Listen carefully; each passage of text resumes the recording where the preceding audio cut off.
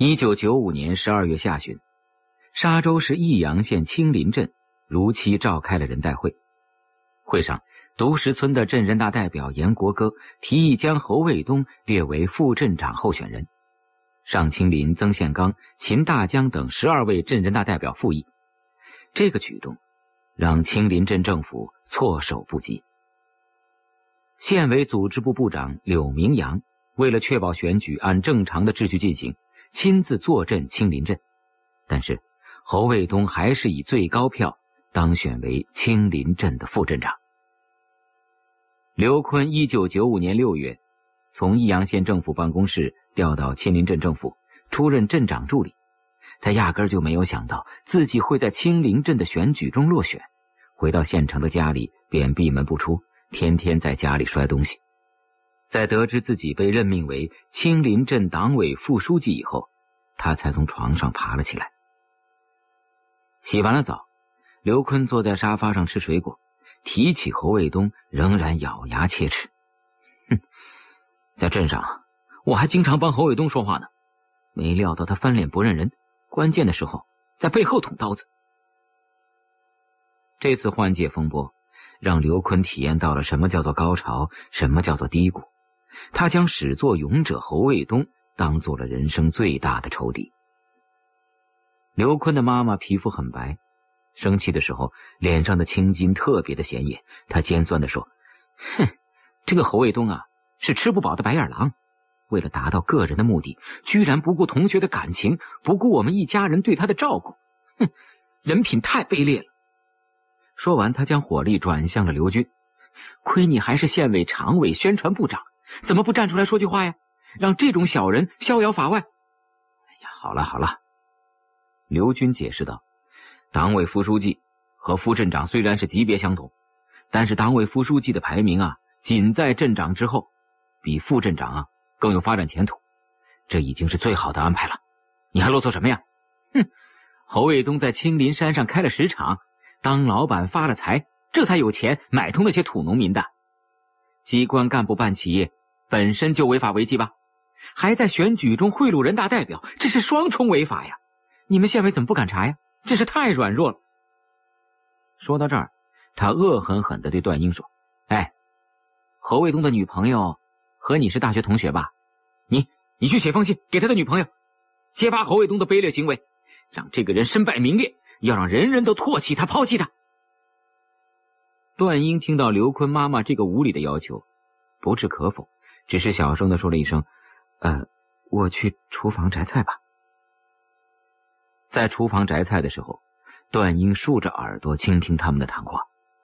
虽然她是刘坤的女朋友，但是在心灵的深处，侯卫东的分量却很重。父亲刘军显然理智的多，他并不理睬老婆的愤怒，对儿子说：“以后啊，你和侯卫东啊，都是青林镇的领导班子成员了。”低头不见抬头见的，你要大度一点，别听你妈妈的。女人头发长见识短。哼，爸，这次可是侯卫东在背后下我的狠手啊！如果我不报这个仇啊，以后谁都敢来踩我两脚了。哼，此仇不报非君子。刘坤丢下了狠话，走进厨房帮着段英摘菜。刘坤的妈妈最看不惯刘坤帮着段英做事了，生气的叫着：“真是娶个媳妇丢个儿啊！”以前小坤从来不进厨房的，现在呢，哼，不用我们喊就主动进厨房喽。耳朵哥这么软啊，看以后怎么办？刘军在旁边苦口婆心的说：“好了，你别挑着小坤与侯卫东斗，在政府机关工作呀，不要轻易的树敌。他们现在是一个班子的成员，合则两利，斗则两败。而且啊，我觉得侯卫东这个人挺厉害的，最好能跟他和平相处。”别轻易招惹他，哼，他是跳票副镇长，县委随时可以把他拿下的。难道我们家小坤还怕了他？你这个人呢，就是胆子小，否则也不至于只当到宣传部长吧。与此同时，在益阳县沙洲学院西区，侯卫东陪着小佳住进了装修一新的房间。拥有一套湖边小屋，那可是小佳的梦想。如今梦想成真了，他格外的兴奋。在与侯卫东一番激情之后，捧着一杯热咖啡站在阳台上，欣赏着冬日湖边的萧瑟景致。视线所及之处，几只白鹤站在湖边的浅水之处，悠闲的寻找着食物。哎，这套房子买的太好了，即使以后啊，你调回沙洲工作，也一定要保留这套房子啊！这是我们度假的房子，也是我们浪漫青春的见证。小佳和侯卫东相识相恋于沙洲学院，这房子确实是他们青春岁月的影子。作为小资女人，这套房子在小佳的心中比沙洲的新月楼的住房更加值钱。欣赏了一会儿湖边的美景，小佳的思路回到了现实之中。老公，你跳票当了副镇长，让各级领导都很难堪呢。以后啊，你肯定会有麻烦。一想这事我就心烦。嗨，宁愿战斗而死，也不能窝囊的活着吧？即使有麻烦，也强于被人遗忘在上青林吧？哎，小佳，你看那几只白鹤，他们的故乡。现在天寒地冻，如果不经历千难万险的长途飞行，他们怎么能够有如此的安宁啊？这几句饱含着诗意和哲理的话，在外人听来很酸，可是，在小佳的耳中却比蜜还甜。侯卫东还有心给小佳另外一个惊喜，哎，今天是咱们的新房第一次开火，我来给你炒菜怎么样？啊，一定会让你大吃一惊的。哼。吹牛吧你！小佳压根就没想到侯卫东还会做饭。回锅肉可是上青林的传统菜，家庭主妇人人会做，可是真正能做到像刘阿姨那种香飘满楼的水平，则为数也不多。侯卫东这次为了在小佳的面前显摆一下，还特意向刘阿姨学了几手。他围上了围裙，很有几分大厨的风范，一边炒菜一边念念有词：“哎。”这个上青林的回锅肉啊，关键就在于精细。我煮肉的时候特别放了生姜、大葱、大蒜、花椒，煮成断生以后，再将肉切成大薄片。第二步呢，就是炒肉，一定要将肉片熬制成灯盏窝，哎，这才是水平啊！当一盘色香味俱佳的回锅肉炒出来之后。小佳两眼放光，口水直流，接连吃了好几块。哇，老公，你太棒了！以后你天天给我炒回锅肉啊！哎，天天吃回锅肉啊，只怕你一个月呀，就长成了大胖子了。我不怕，吃了回锅肉，你陪我在床上做运动。哼，现在就去。两个人说笑了一会儿，小佳停下了筷子，他看着侯卫东黢黑的脸，心疼的说。老公，这两年你在山上受苦了。此时的侯卫东很有成就感。当初啊，被发配到上青林，日子确实不太好过。但是塞翁失马焉知非福，只要努力，生活总会给予回报的。嗯，这才是胜利者的语言。老公，我最喜欢看到你意气风发的样子。快乐的时光总是很短暂。星期天的下午，小佳返回了沙洲。侯卫东虽然已经是青林镇政府的副镇长了，但是他在青林镇并没有住房，因此他还要先回到上青林乡政府的宿舍。第二天一大早，侯卫东就起了床，在姚瘦子的饭馆吃了豆花饭，然后下了山，来到青林镇政府的时候，还没有到八点，整个办公楼空无一人。侯卫东在院子里站了一会儿，才陆续有机关干部上班。他们看到侯卫东的神情都有一些古怪。县里的批复下来以后，侯卫东此时已经是货真价实的副镇长了。可是大家的心里总觉得怪怪的，还没有把这位上青林石场的老板和青林镇的副镇长重合在一起。党政办的杨凤最先来上班，侯卫东暂时无处可去。只好跟着他进了党政办。到青林镇工作的这两年多时间里，侯卫东一直没有落实具体的工作部门，党政办成为他在镇政府的落脚点。此时，他以镇领导的身份坐在党政办，感觉跟以前稍有不同。恭喜侯镇长啊！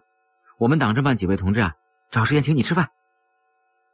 杨凤一边说，一边习惯性的把手伸进了抽屉，忽然想起侯卫东不再是侯大学，而成了侯镇长了，摸着瓜子的手便收了回来。黄公安提着黑色的人造革手包走了进来，见到侯卫东，大声的说：“侯大学，两年时间混成了副镇长，硬是了得，来整一口。”侯卫东接过酒壶，喝了一大口。黄公安看侯卫东仍然喝自己的烈性酒，高兴地说：“哎，耿直的人永远不会吃亏嘛。越是偷奸耍滑的人啊，越没有出息。这个狗林啊，比侯大学早来，现在混成一副狗熊样子嘛。”正在这个时候，外面传来了小车的声音。杨凤站在窗子门前看了一眼，回头对侯卫东说：“赵书记来了。”侯卫东连忙走出党政办，在楼梯前等着赵书记，恭敬的叫道：“赵书记，你好啊！”青林镇在选举的时候发生了跳票风波，党委书记赵永胜受到了严厉的批评，窝了一肚子的火。他没有给侯卫东好脸色，挺着将军肚朝楼上走去。侯卫东尴尬的跟在赵永胜的身后，进了他的办公室。赵永胜坐在大班椅上。冷冷的说：“根据青林镇人大会选举的结果，新一届镇政府镇长由素明同志担任，副镇长是钟瑞华、唐树刚和你。等一会儿我们要召开党政联席会，明确镇政府班子的分工。”尽管赵永胜并没有征求意见的意思，侯卫东还是主动表态：“嗯，怎么分都行啊，我完全听从镇党委的安排。”赵永胜不置一词。低头看起了报纸，把侯卫东晾在了一边。幸好素明走了进来，侯卫东趁机告辞，走出了赵永胜的办公室，长长的舒了一口气。老苏啊，对于镇政府的分工，我让你提了个方案，你拿出来没有啊？赵永胜向新任镇长开始发问了。素明简要的说了自己的想法。赵永胜抬头看着天花板，想了想。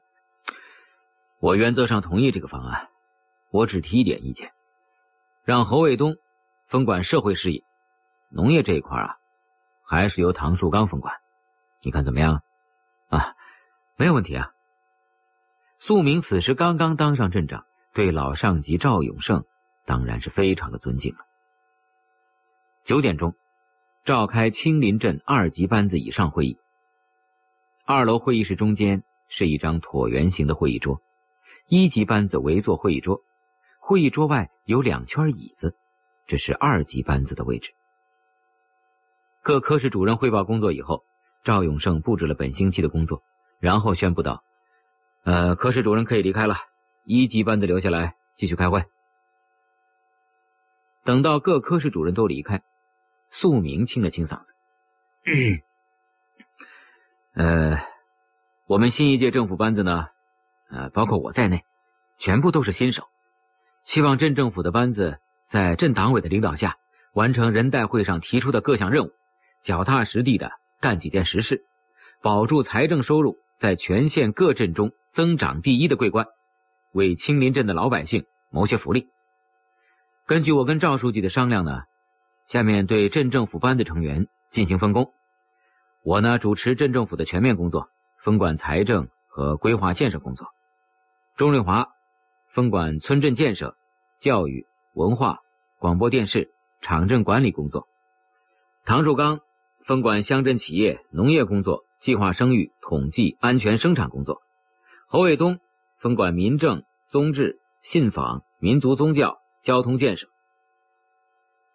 这是侯卫东第一次以领导的身份参加会议，他在笔记本上记着：“我分管民政、综合治理。”信访、民族宗教、交通建设。散会之后，党政办主任欧阳林找到了侯卫东。侯震呐，你的办公室呢？我们已经安排了，我带你去看看。前任的党政办主任唐树刚提成副镇长以后，欧阳林被任命为党政办的主任。他是比侯卫东早一年分到青林镇的大学生。眼见着侯卫东突然由白丁变成了副镇长，他心里非常不舒服，也有些不屑。副镇长的办公室布置的很简单，一张办公桌，一把藤椅，一张竹沙发，一个电话，一排文件柜，一个开水器。欧阳林推开窗户，一股清冷的空气立刻透窗而入。侯卫东递了一支烟给欧阳林，在青林镇政府上班啊，回到上青林居住，跑来跑去不方便，特别是喝了酒以后，上了山就更累了。哎，欧阳啊，山下有没有单身宿舍呀？欧阳林点燃打火机，先给侯卫东把烟点燃，再点燃自己手中的烟。哎呀，这个青林镇啊。是由上青林乡和下青林乡合并而成的，两个乡的干部啊，大部分集中在下青林镇政府，住房严重不足。这会儿啊，确实没有空房子。那那附近有没有出租房啊？不用单位出钱，我自己租。欧阳林在国土办工作过，对场镇的情况熟悉的很。这个青林镇基本上没有流动人口，也就没有出租房的市场。这么着吧，侯震。我慢慢打听着。侯卫东颇为犯愁啊，心里琢磨着：这改革开放已经十多年了，这个青林镇居然还是如此，真是春风不度青林山呢。想到这儿，嘴里说：“哎呀，没有房子确实不方便啊。”欧阳主任，你得帮我想想办法嘛。欧阳林将办公室交给侯卫东以后，又到其他几位领导的办公室看了看。最后来到了赵永胜的办公室，他向赵永胜汇报了侯卫东的住房问题。赵永胜手捧着将军肚子，脸上的七星北斗凝聚在一起，很不耐烦地说：“欧阳林啊，你有能耐就变一间宿舍给侯卫东，反正啊，我没有这本事。”欧阳林离开了赵永胜的办公室，他虽然碰了一鼻子灰，却很有收获。因为他明白了赵永胜对侯卫东的真实态度，也就掌握了分寸。侯卫东在新办公室里无所事事，好不容易混到了吃午饭的时间，正想找个馆子吃午饭，就接到了素明的电话：“你到我家里来吃饭，我们哥俩好好聊聊。”侯卫东出了大院，在商店买了两瓶酒，来到了素明家，一进门就笑着说：“嫂子，我又来蹭饭吃了。”哎。哪里话嘛！你侯大学是单身汉，随时欢迎到我家来吃饭啊！他看见侯卫东手里还提着酒，就嗔怪道：“你也是的啊，来吃顿饭还提什么酒啊？”此时客厅的桌子上已经摆了凉菜，素明也说：“你这个小子啊，吃顿便饭还要提酒，你以为我家里没有酒给你喝呀？”他说完，打开了家里的一阳红，哎，按照县里的新规定啊，中午不准喝酒。我们每个人只喝三杯啊，绝不多喝。喝了两杯以后，苏明说：“这个秦镇长啊，其实能力很强啊，到开发区工作呢，也算是人见其才吧。你看，他这一拍屁股走了，把青林镇这一大摊子事情留给你和我，我是力不从心呐，只好硬撑着了。”侯卫东吃了两口菜，苏镇长。你不论是从理论水平还是实践经验，那都是镇长的最好人选啊！政府工作我是外行啊，以后啊，恐怕要请苏镇长多多批评帮助啊！嗨，你小子就别给我上糖衣炮弹了。咱们这届政府啊，任务很重。以老弟你的观点来看，我们从哪一方入手最容易出成绩呢？哎，我知道啊，你的脑袋瓜子灵。没有固定的条条框框，你帮我想一想吧，看有什么新招能让青林镇政府工作有特色、出成绩。你有什么新点子要先跟我说啊，成熟以后再提出来商量，免得弄成不成熟的方案，让党委啊觉得我们政府一般人没有水平嘛。想起早晨被赵永胜冷淡的事情，侯卫东很是苦恼。我觉得赵书记好像对我意见很深啊，那我以后怎么？开展工作呀。素明当然知道这是怎么一回事，他只好开口劝道：“哎呀，赵书记这个人呐，脾气大是大了一些，但他是一心为公啊，不会记仇的。只要你认真工作，我相信误会就会慢慢消除。”这一番评价让侯卫东一阵牙酸呢。他暗自琢磨着：这个赵永胜肚子这么大，可是度量实在不怎么样。一心为公啊，更说不上。这些都是哄鬼的话，别说我不相信，就算你宋明自己，也不见得会相信。想到这里，侯卫东忍不住转念又想：站在镇长这个角度，那么素明也只能如此来评价镇党委书记了。侯卫东在上清林开了两年时场，连升三级，成了副镇长，没有中层干部经历。他的头脑一片空白，两眼呆坐在教室里，显得十分的无神。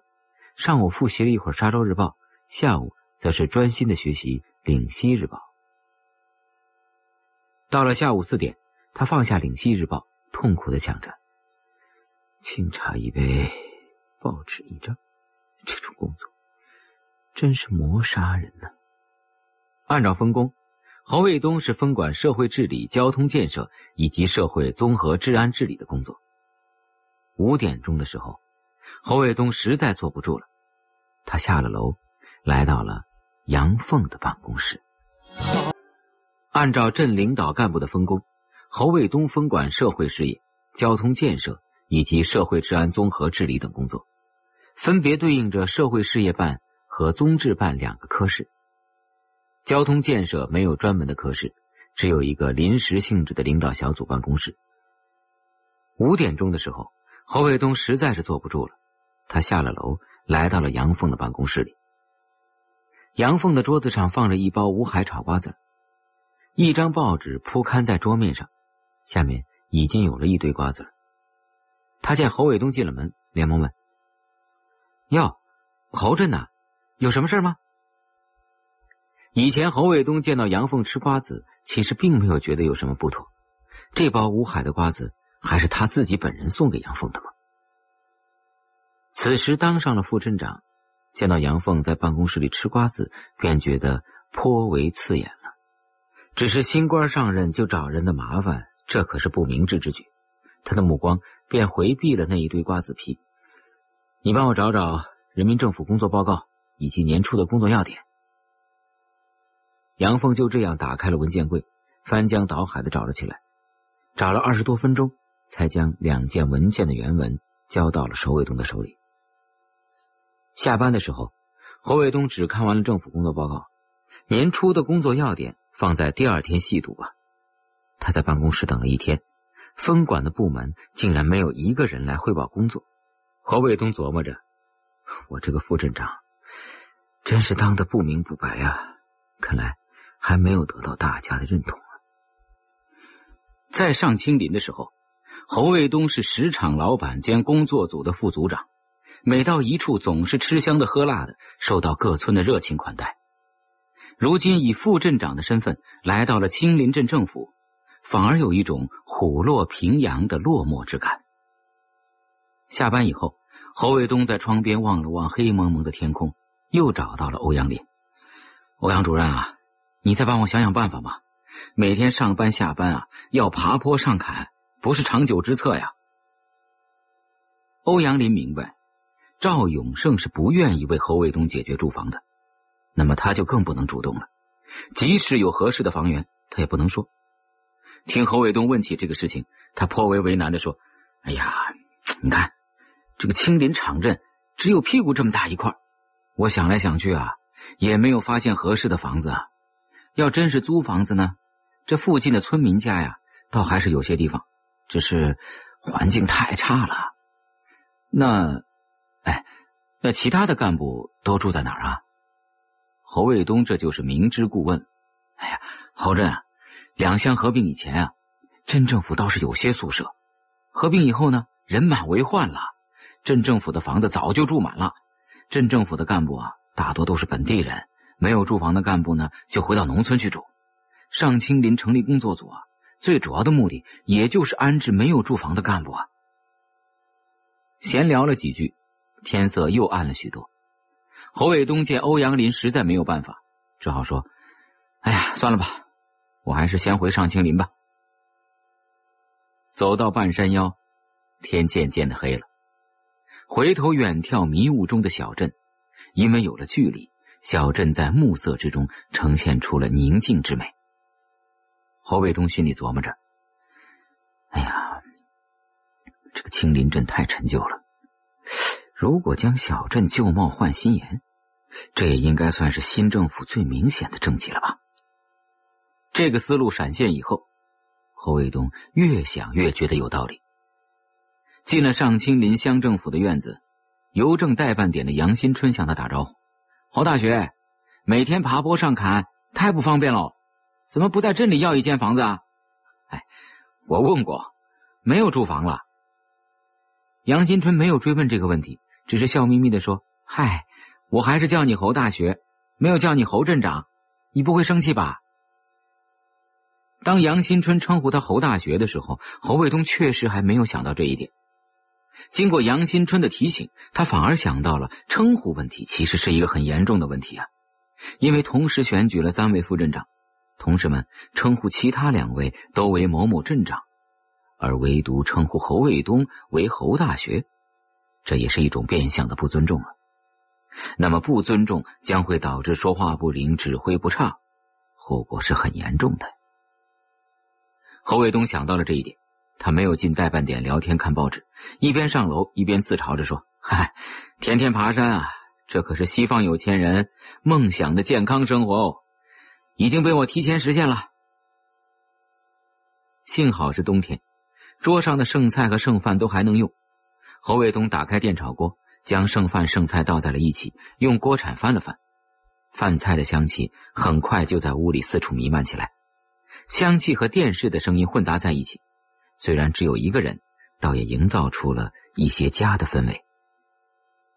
正在想念小家的时候，门外忽然传来了一个滴滴的声音：“侯老师，我可以进来吗？”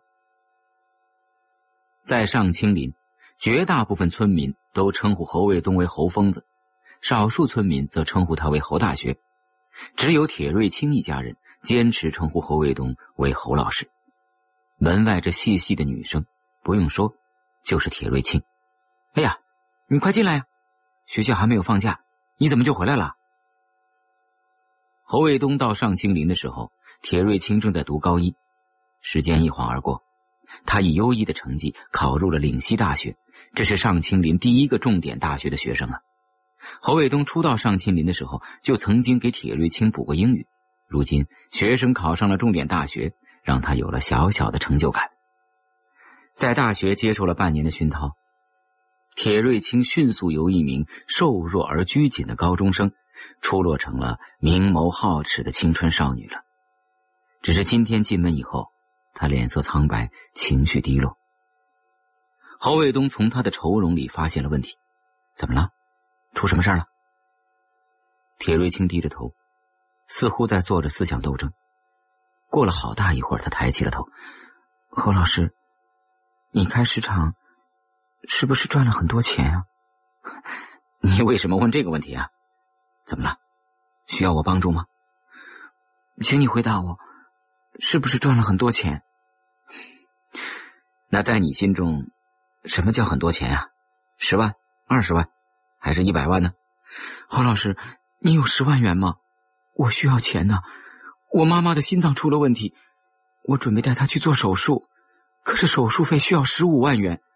我们家的存款只有五万六千元。我的爸爸是个小学老师，自尊心特别强，一辈子没有找人借过钱，更不要说这么大一笔钱了。为了这个事情，他躲着我哭了好多次。我是瞒着他来找侯老师的，请你一定要帮帮我。说到这里，铁瑞清的眼中泪水闪烁。侯老师，请你放心，这笔钱我会打借条的。我读的是金融专业，毕业以后收入应该不低的，我肯定能还得上。侯卫东被铁瑞清的亲情感动了，明天我到益阳城取钱给你啊。不过我是学法律出身的哦，最重视契约关系。咱们先小人后君子，你可是要写借条的哦。我不要利息，也不要啊还钱的日期，好不好？真的，侯老师，你是个好人，是真正的男子汉。就在这个时候，铁炳生出现在了门口。他看到女儿正坐在侯卫东的客厅，惊奇的说：“瑞清啊，你你怎么在这里啊？爸爸，你怎么也来了？我是来向侯老师借钱的。铁炳生在上清林当了二十年的小学校长，一向很是清高，让他开口向人借钱着实不易。不过救妻子的心情终究战胜了面子的观念。铁瑞清高兴地说：“爸爸，侯老师答应借给我们十万块了。”哎呀，侯兄弟啊，我得说清楚啊。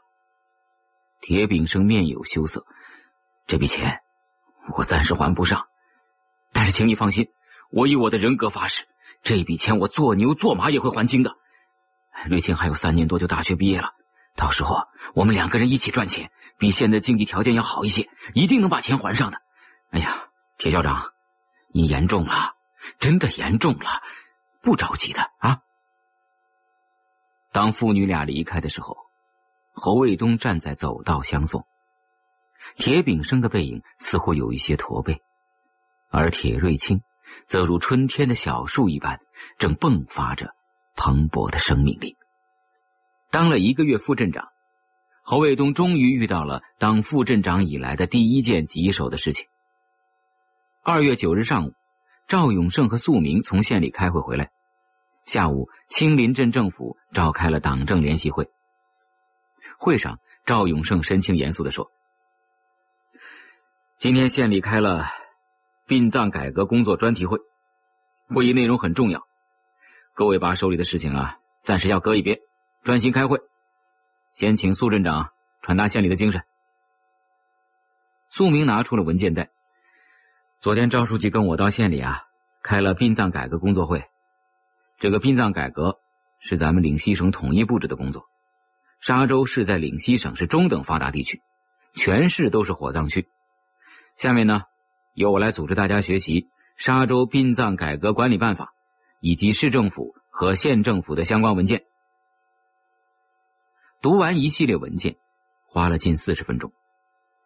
读完以后，宋明接着说：“呃，今天我们原文学习了省市县三级的文件，按照全省统一的部署。”我县的殡葬改革从五月一日起正式执行。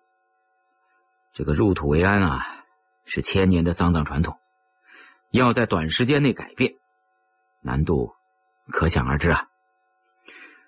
但是呢，这个事情从省里到市里，再到县里到镇里，层层都签订了责任书，完不成任务，各级是要被问责的，是开不得玩笑的。从现在到五月一日，不足三个月的时间，任务重，时间紧。矛盾深，难度大。侯镇长分管社会事业工作，一定要对此项工作有充分的思想准备啊！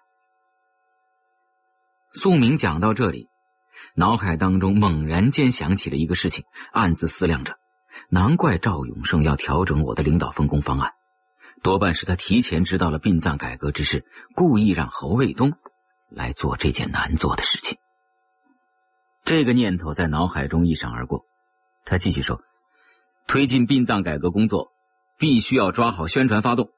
从现在到五月份是宣传发动阶段，只有通过铺天盖地的宣传，让殡葬改革家喻户晓、深入人心，才能将矛盾减到最小。说到这儿，他再次将目光转向了侯卫东。上午开会回来，我已经跟侯镇长说了这个事情。侯镇长啊，你把你的这个宣传方案拿出来研究一下。侯卫东是吃过午饭才拿到县里的材料的，他根据县里的部署，加班加点弄了一个宣传方案出来。好吧，呃，结合县政府的要求呢，我拟定了宣传工作计划。这个计划分四个部分：一是开会宣传，我建议镇里召开镇村社三级干部会，在会上啊，将殡葬改革的工作讲透，各村下去啊也要分别进行宣传。二呢是通过现有的广播反复播放益阳县政府的相关文件。实行强制性的宣传，三是在赶场天散发宣传单，还可以搞一些咨询活动。四呢，就是用石灰沿公路刷标语，造成声势，造出社会的舆论。侯卫东讲完以后，赵永胜捧着将军肚。这个苏镇长讲了政策，侯卫东呢也讲了宣传工作。下面我讲三点意见。第一。侯卫东的宣传方案很全面，如果宣传工作真的做到这种程度，效果肯定不错。我强调的是要落到实处。侯卫东要负责殡葬改革的具体工作，宣传工作就由刘坤来抓。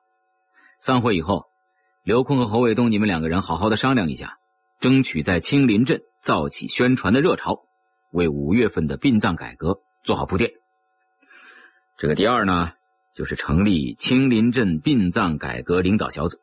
我建议由苏镇长来当组长，侯卫东、刘坤任副组长。领导小组下设办公室，由涉事办的苏亚军任办公室的主任。说到这儿，素明谦虚的插话：“哎呀，赵书记啊，这个事情难度太大，还得由您出马才搞得定嘛。”哎，苏镇长任组长啊，最合适不过了。你不能总是让我这个老家伙顶在前面嘛。第三。我在这里只强调一点啊，殡葬改革不是请客吃饭，不是口头功夫，到时候是要流汗流泪，甚至是要流血的。大家要有充分的思想准备。五月一日，全镇要全面实现火葬，前三板斧是关键啊！如果前面几斧头没有砍好，以后就困难重重了。侯卫东啊，你是个年轻同志，更要有勇气、有智慧。全镇三万人。都在看着你啊，好吧，今天的会议就到这里。苏镇长和侯卫东到我办公室来一趟。到了赵永胜的办公室，他慢条斯理的继续说：“根据县里的意思呢，各地在殡葬改革之中可以收取一定的改葬保证金，或者叫做罚款，或者叫做土地赔偿金吧。这笔钱留在镇里。”不用上交县财政，作为殡葬改革工作的经费。我算了一下，这笔钱如果收好了，将是一大笔收入啊！镇里负债多，财政运转难，这笔钱将解决大问题啊！这个殡葬改革是大事也是难事，必须发动村干部共同参加。我的想法是，在这个土地赔偿金里提取百分之十，奖励给村干部，真正提高他们的积极性。让他们由被动变为主动。说到这儿，赵永胜专门交代道：“这个事情只能做，不能说，更不能宣传。侯卫东啊，你是分管领导，一定要掌握分寸，既要向村干部宣传，又要注意保密啊。”侯卫东点着头说：“我明白。”可是此时他的心里却想的是另外一回事。看来这个赵永生啊，对我意见还挺大。因为他一直不肯称呼我为一声侯镇长啊。这个时候，素明的心里已经算了一笔账。县里根据各镇每年的自然死亡率啊，设定了火化任务指标。我们镇啊，在今年必须要完成两百具的火化任务。只要能够完成这两百具的火化任务，其他的土葬可以收取土葬罚款，费用呢为每具四千到一万。根据我们镇的情况。五千块钱比较合适。我们这每年死两百四十到三百人，如果占地费收到每具五千元，能收四十人的占地费，镇里啊就可以收到二十万呢。如果给村干部考虑百分之十的工作经费，按照刚才的算法，每年大约就是两万元。可是咱们青林镇有十二个村呐，每个村拿到的钱啊那就很少了，这样吸引力不大了。所以我建议。给村干部考虑百分之二十的返还的工作经费，这样每个村每年平均有两千多块钱到五千多块钱，这样就能够有效的调动他们的工作积极性了。赵永胜仔细听了素明的意见，当即拍板：“嗯，殡葬改革是全镇的一件大事啊！如果村干部不出力，我们就是聋子是瞎子。我同意苏镇长刚才的建议，返还比例啊就定在百分之二十。”用百分之二十的返还金啊，就可以调动村干部的积极性了，这很划算嘛。说到这里，被财政短缺折磨的快要发疯的素明两眼放光了。哎呀，镇财政吃紧呐，有了这笔钱，就可以补发教师的工资，可以加强场镇建设。从这个角度来说，抓好了殡葬改革工作呀，既有利于国家社会和子孙后代，还能为镇里的建设呀。做出点贡献呢。侯卫东对收取土地罚款的事情感到很别扭，可是从现实的角度来看，书记赵永胜和镇长素明的做法，确实是最现实的选择了。散了会，侯卫东想着宣传方面的事情，就来到了刘坤的办公室。刘坤给段英打了传呼，正在等回电话。侯卫东出现在了门口。侯卫东没有理睬刘坤的脸色。殡葬改革在五月初要执行了，前期的宣传工作很重要。这个星期五准备召开全镇殡葬改革专题会，我想和你商量一下，怎么做好全镇的宣传工作呀？刘坤看见侯卫东，心里就窝火，冷冷的说：“你把材料放桌子上吧，我找时间看看。”侯卫东转身离开，走到门口，回过头来提醒道：“宣传提纲和宣传标语啊，在动员会上最好能发下来。”这个时候，电话猛地响了起来。刘坤一接电话，态度立刻变得很是亲热。“喂，哎，今天晚上我要回来啊，回家吃饭。”电话里传来了段英的声音：“你妈看我不顺眼，我不想到你家。哎呀，亲爱的。”你不要太小心眼嘛！我妈妈呀，那是刀子嘴豆腐心。哎，就这么说定了啊！晚上我来接你啊。不，刀子嘴也会杀人呢。又劝了几句，段英还是不想回他父母家中。刘坤生气了：“你怎么是这么态度啊？我妈有什么地方对不住你啊？”发完火，他马上又放缓了语气：“哎呀，亲爱的，还是回去吧啊！我来接你。”中午下班的时候，侯卫东又开始琢磨在什么地方吃午饭了。他走到窗口，正好看到赵永胜坐上了他的桑塔纳，桑塔纳一溜烟开出了大院，带起了浓重的灰尘。中午下班的时候，侯卫东又开始琢磨在什么地方吃午饭了。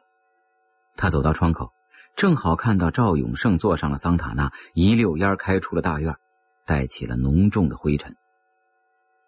侯卫东初到青林镇的时候，满街垃圾以及漫天的灰尘给他留下了深刻的印象。此时又见灰尘，他就续接上了之前在半山坡上的思路。改造青林老场镇，是提高新一届政府威信的好办法呀。尽管短时间不能将老场镇彻底改变，最起码可以将环境卫生搞好。这可是看得见、摸得着的成绩。就在这个时候，社事办的主任苏亚军出现在院子里。侯卫东喊道：“苏主任，你等一下。”社事办是社会事业办公室的简称。社事办主任苏亚军四十六岁了，工龄长，人面熟，加上受到年龄的限制，其政治生命已经结束了，是标准的机关老板凳。听到侯卫东的喊声。苏亚军便停下了脚步，在院子里等候。在他的人生经验里，跳票的副镇长那就是兔子尾巴。再加上他知道赵永胜对侯卫东很有看法，因此他对这位分管副镇长采取了敬而远之的态度。哦，侯镇呐，什么事啊？哎，我们中午一起吃个饭，叫上社事办的其他同志，我请客。苏主任，你来定个地点。侯卫东笑呵呵的说着，他初当副镇长。不想当光杆司令，主动向苏亚军示好了。苏亚军也知道侯卫东是上清林的石场老板，听说他要请客，也就没有客气。河口村村支部书记刘卫斌家里开了一个农家乐，环境不错，味道也还行。我们就到他那里去，怎么样？好啊，呃，我们就到河口村。那好，侯震，你等我啊，我去打个传呼，让曾强他们几个都回来。苏亚军一边说，一边朝办公室走去。哎苏主任，不用到办公室了，用我的手机吧。此时手机在青林镇还是稀罕物，除了赵永胜和素明各有一部外，党政领导班子成员中只有侯卫东在用手机。当然，赵素二人是公款消费，侯卫东纯属私人消费。没想到苏亚军不冷不热的回答：“这洋玩意儿我不会用啊，还是去办公室打电话吧。”侯卫东有些尴尬的将手机收了回来。但是他为了争取这个老板凳，也就没有计较，将手机又放回了口袋，跟着苏亚军来到了办公室。在办公室等待传呼的时候，苏亚军眼珠一转：“侯镇长，我跟你汇报个事啊，这个市社办管着广播站和民政办，点儿多面儿广啊，特别是即将开展的殡葬改革工作，任务很重啊。你能不能争取买一辆面包车呀？也就是几万块钱嘛。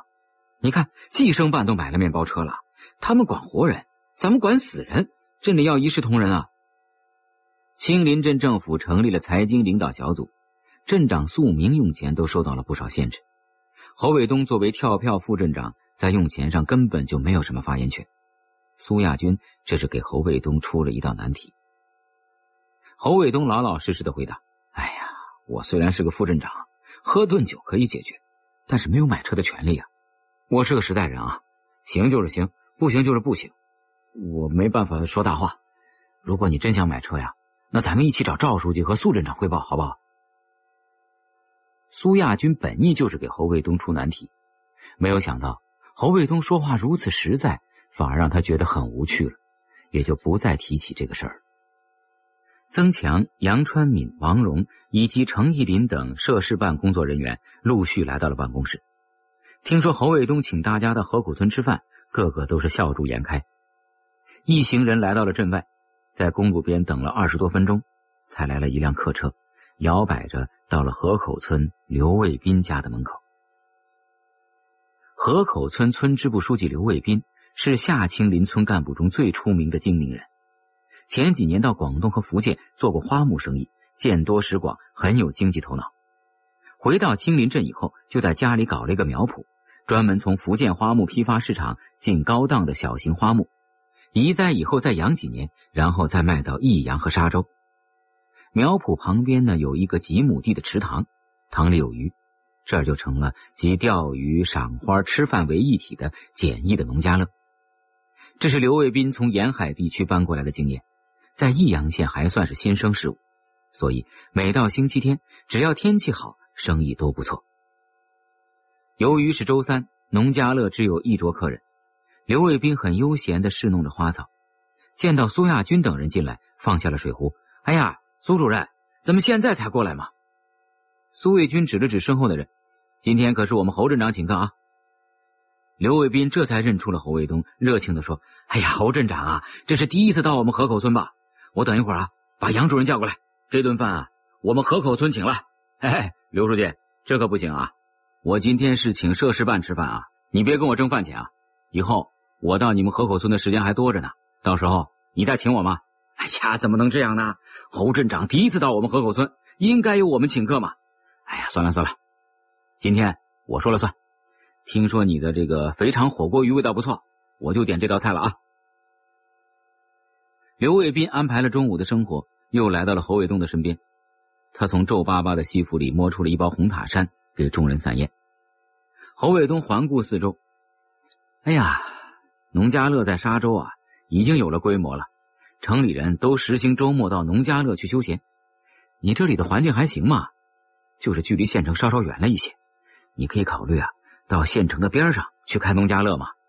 哎呀，侯镇长啊，如果到城边开农家乐，那成本就太高了。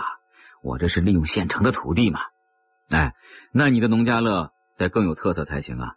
只有这样才能有更多的顾客。等天气暖和以后啊。我带益阳的朋友来你这儿玩嘛？哎呀，好啊！侯镇长带来的人一律打七折。苏亚军一直在观察着侯卫东，他看见侯卫东和刘亚斌谈得很投机，心里暗暗琢磨着：这个侯卫东还算是老练啊，不是传说中的愣头青吗？九至三旬，侯卫东将话题引向了殡葬改革。咱们沙洲全市啊，都要改殡葬改革。哎，刘书记。啊你说说，村里有什么看法呀？刘卫斌打了一个酒嗝。哎，我在电视里看到新闻了，知道这件事情啊。哎，你想啊，咱们青林镇是山区啊，到处都可以埋人，这个事情啊，根本就不可能搞起来嘛。侯卫东主动做起了宣传，殡葬改革的目的是移风易俗嘛，节约土地资源，减少丧葬费用。省市县三级政府下了很大的决心呢。沙州市已经下了政府令了，全市从五月一日起一律不准土葬，必须火化。火化以后啊，民政局还给一定的补贴呢。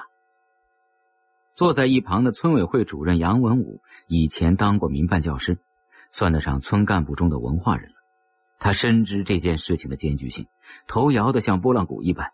哎，殡葬改革比计划生育还要难啊！真要执行下去啊，还不知道要打多少架、扯多少皮。说起来容易，做起来难呐。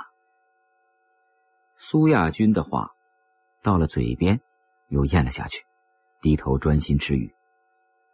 侯卫东在上青林待了两年多，天天与村干部混在一起，对村干部所思所想了解的一清二楚。哎呀，我跟你们说吧，县里给上青林镇呢下了火葬任务了，镇里将依葫芦画瓢给每个村下任务，完成任务的村呢，可以对土葬户啊收取一定的土地占用费，或者说叫罚款也行。刘卫斌听说可以收取土地占用费。马上就反应过来是怎么一回事，这个土地占用费如何使用啊？镇里是否上交到县里啊？侯卫东心说：“聪明人果然是不一样啊！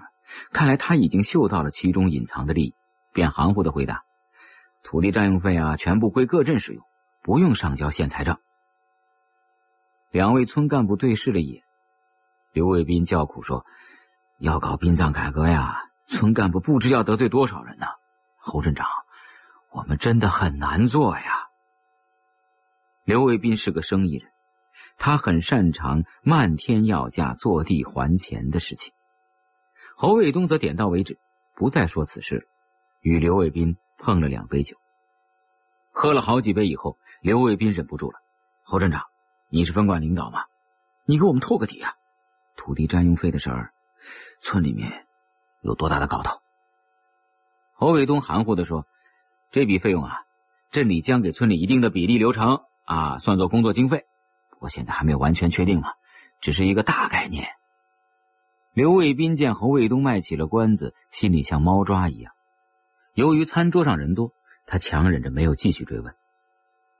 苏亚军原本担心侯卫东工作经验不足，抓不住工作重点，控制不了全镇的局面。如果在工作中出了岔子，最终还得由他来擦屁股。可是此时，他见侯卫东说话办事有板有眼，便松了一口气。而此时的侯卫东有心将苏亚军灌醉，他与村里的干部谈完了正事就拿来了两个啤酒杯子，倒了满满的两杯白酒。苏主任啊，能在一起工作是缘分啊，没有缘分，我们八竿子也打不着嘛。有了缘分。我们才能在一起工作，来吧，我们两个干一杯，祝合作愉快。看着满满一杯的白酒，苏亚军的眼睛都绿了。侯震，这就不是这个喝法吗？哎，那怎么喝？喝酒嘛，难道还有法律吗？我先喝了啊，你不要磨蹭。侯卫东今天有意要灌醉苏亚军，所以气势如虹，毫不留情。侯卫东一口气把这一大杯喝了下去。在刘卫斌等村干部的起哄之下，苏亚军犹豫了一会儿，只好硬着头皮也将这一杯白酒喝了下去。在河口村吃完午饭，已经是下午三点钟了。社事办主任苏亚军当场醉倒，被拖到了村支书刘卫斌的床上。侯卫东也有醉意，但是他越发的豪爽起来，对着曾强等众人说：“我们青林镇有一种说法，我是知道的。”叫做酒风看作风，牌品看人品啊！今天通过对涉事办酒量的考验啊，说明涉事办是一支特别能战斗的队伍吗。涉事办两个没有喝醉的女同志看着这醉成一团的男人们，听着侯卫东的豪言壮语，抿着嘴直乐。侯卫东拍着副主任曾强的肩膀：“哎，喝了酒再爬青林山，那是要命的事情啊！我不回镇里了啊，明天上午到益阳民政局，下午。”你和苏主任在办公室等我。刘卫斌此时心里想着土地占用费的事情，把半醉的侯卫东拉到了屋里。侯卫东拍着刘卫斌的肩膀：“哎，目前县里所有的正式文件都没有提及土地占用费，所以啊，这个事情还不能说出去，你要千万保密哦。”哎呀，侯镇长，你放心啊，我一定会保密的。每一句土地占用费多少钱吗？呃，多大的返还比例啊？这个党政联席会上还没有研究嘛？啊，我只是说个大概的情况啊。土地占用费每句五千到一万，比例大约在百分之十到百分之二十。村干部是不在编的干部，工资很低，除了村里的工作以外，还得从事农业生产养家糊口。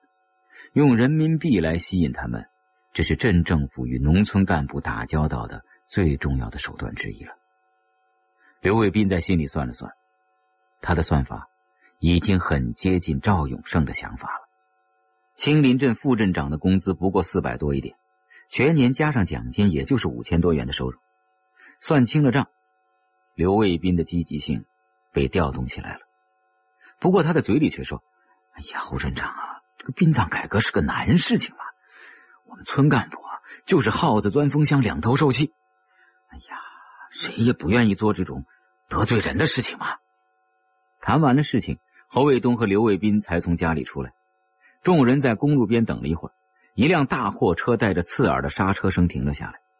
车身的自重加上碎石的重量，足有几十吨呢，压得公路不停的颤抖。货车司机伸出脑袋：“侯疯子，到哪里去啊？”“我我到益阳，上车嘛。”看着带着灰尘远去的大货车，曾强打了一个酒嗝，对小姑娘程依林说：“哎，这个侯卫东就是一个山大王啊。”咱们苏主任的酒量跟他相比啊，差远喽。大货车就像装甲车一般，在公路上横冲直撞，风驰电掣。侯卫东坐在车上，一直迷迷糊糊的。等他睁眼睛的时候，已经到了益阳城的城边了。货车司机扭过头来：“疯子，实在不好意思喽，我不进城了，你在这里坐公共汽车。”侯卫东在城边站了一会儿，坐上了进城的客车。回到沙洲学院的住房，他靠在沙发上休息，不知不觉进入了梦乡。下午六点左右，大门响起了有节奏的敲门声，他迷迷糊糊的站起来开门，站在门外的，居然是满面笑容的任林渡。啊，怎怎么是你啊？哎，怎么是你呀，侯卫东？任林度比侯卫东还要吃惊，他退后了一步，看着隔壁的房门。那郭兰住这边，侯卫东明白了。不过他带着酒意，用手指着任林度：“任林度，你这个重色轻友的小子啊，我还以为你是来找老朋友的，结果是来找人家郭兰的。哎，你住在郭兰的隔壁，这太好了，以后我就有了根据地了啊！”任林度脸上的尴尬只存在了一瞬间，马上就笑呵呵的说道。任林度是侯卫东的朋友中最常于交际的，他的朋友遍及县政府所有的要害部门，这是他天生的本领，学也学不会。侯卫东自叹不如。任林度转身去敲郭兰的家门，开门的是郭教授。郭叔叔您好，我是郭兰的同事，请问他在家吗？啊，呃，他还没有回来呀。啊，我叫任林度，在县团委工作。我和侯卫东啊，还有郭兰，我们都是同学。我可以进屋等他吗？郭教授开门的时候，刚从书房出来，鼻子上还架着眼镜，手上还拿着笔。那，嗯，你进来吧。说完，他对站在门口的侯卫东说：“小侯啊，你来陪陪你们的这位朋友，我还有事情啊。”侯卫东知道郭教授的事情多，连忙说：“哎，任林渡，郭教授有事儿，你到我家里来等吗？哎，没关系的，我就在这儿等吧。”侯卫东对任林度的黑厚精神大为叹服了，他只好找了一个借口回到了自己的房间。郭教授在书房忙了半个多小时，一出来看见任林度一个人还坐在客厅，正欲开口，任林度说：“郭教授，我能不能给郭兰留个便条啊？就不耽误你的时间了。”说着，他来到放着笔墨纸砚的桌前，提起毛笔，在桌上写道：“县团委，任林度。”郭教授眼前一亮，哦，好漂亮的柳书啊！他欣赏了一会儿，频频点头。嗯，年轻人能写一笔好字，凤毛麟角啊！成功引起了郭教授的兴趣，任林渡暗自佩服自己的观察力。啊，我从小就喜欢写毛笔字，我的爸爸还是岭西书法家协会的会员呢。哦，你这个字。适合写晏殊的词啊，写几句来试试，会背吗？任林度是学理工出身，晏殊是谁根本就不知道，他只记得课本中学到的李清照的诗词，写道：“争渡，争渡，惊起一滩鸥鹭。郭教授只是在欣赏着字，却没有发现任林度已经偷换了词作。这一老一少都是书法爱好者，郭教授放下手中的事情，跟他聊起了书法。正在兴头上，郭兰回到了家中，见女儿回来了，郭教授高兴地说：“哎，小人有一手漂亮的毛笔字啊，这是很难得呀！哎，你们两个人聊吧，我办正事去了。”等到父亲进了书房，郭兰把小包放在桌上，惊奇的问：“任林度，你这么晚过来，有事吗？”“我是来请你吃饭的，上午咱们约好的，你忘了？”“你，嗨。”亏你还记得这事儿。上午，团委和组织部一起搞活动，任林度约郭兰吃午饭，郭兰随口推脱说晚上吧。有了这句话，任林度就找到了家中。郭兰并不反感任林度，可是对他明目张胆的爱情攻势，着实有些害怕。